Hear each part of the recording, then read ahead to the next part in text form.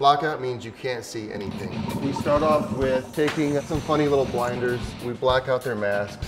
That way they can't see what they're doing. The first thing they need to understand is how to be comfortable and try to maneuver and make something happen when you can't see. What they have to do is get these flanges drawn together and hooked up. As the, the holes are lined up for the bolts, they stab these into the bolt holes on each side. Then they have eight nuts and bolts that they have to bolt these together.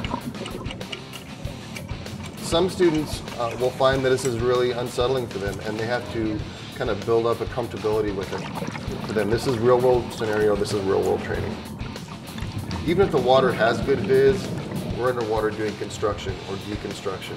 And so that means that we're just stirring up the bottom. And uh, sometimes you just have to, have to work completely blind. As long as I can get one project where they can get used to that, when they get their, their first experience in the industry, they don't freeze up. They, they understand, I've been here, I can do this. If I can teach them to be thinking divers, uh, I've succeeded. Everything's wrench tight, I can't undo it with my fingers. Uh, they can get 100 for their project.